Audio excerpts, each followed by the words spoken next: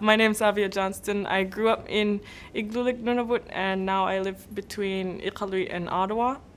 Um, I'm an Indigenous writer. Uh, I just published my first novel, and I have a kids' book coming out soon.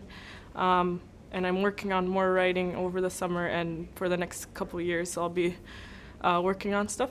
Um, I use my writing as a form to express my Inuit identity.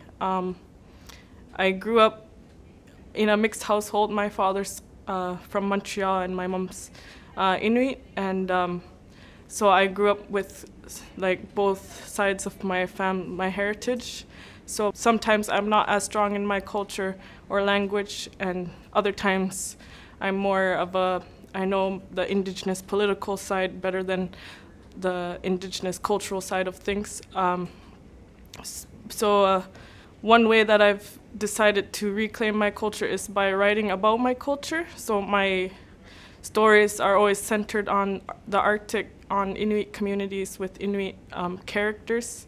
Um, a lot of it has helped me to regain my language. There's not a lot of uh, Inuit writing, um, like fictional stories. A lot of it is either our legends and um, our like children's books and stuff like that, but um, where it's more based on the mythology. And my my stories are also based on mythology, but they're like a modern story, like inspired by the way Harry Potter was written, or The Hobbit, or um, like how there's books uh, about the Greek mythology, but in a modern society.